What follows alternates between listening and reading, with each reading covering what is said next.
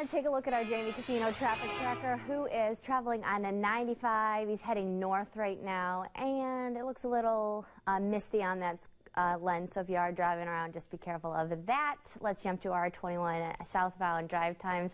9th Street to Goshen Road will take you 9 minutes. Goshen Road to 95 will take you 6 minutes. And 95 to 516 will take you 10 minutes.